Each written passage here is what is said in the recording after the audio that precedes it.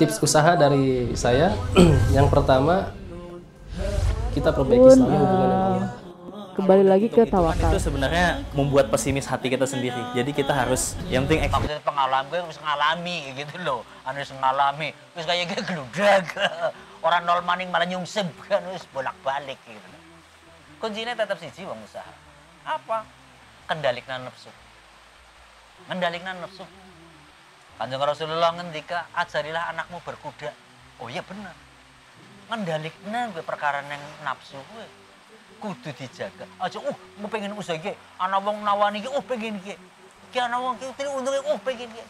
Lah kapan arep dadi istiqomah gitu? Sing kudu modal iki ki, oh hanya di apa iming-imingi perkara batren ora dadi. Tapi kepriyane ki nganggo makanya wong Jawa ngarani. Kowe nek anu nganggo apa anane? Dudu anane apa? Anggar nganggo anane apa? Ya ngono rungsep tapi nganggo apa anane? Lah anane kayak iki. Wis modal mung 10.000 oh ya nyong bisa tuku ki eh, modal mung anu sereh karo anu eh, bisa kowe? Ya wis kowe. Itu seperti itu. Jadi kowe kunci. Karena selama ini wong-wong jatuh wong-wong hancur usaha ternyata dia tidak belum bisa belum bisa mengendalikan nafsu